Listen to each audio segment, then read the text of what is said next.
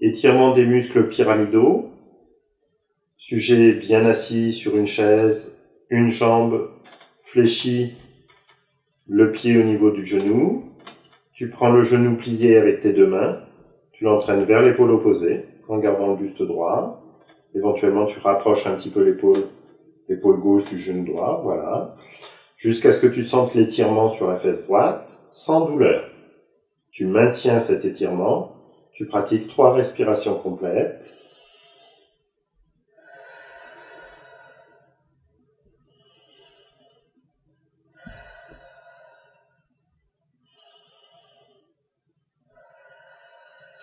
Tu relâches et tu fais la même chose de l'autre côté.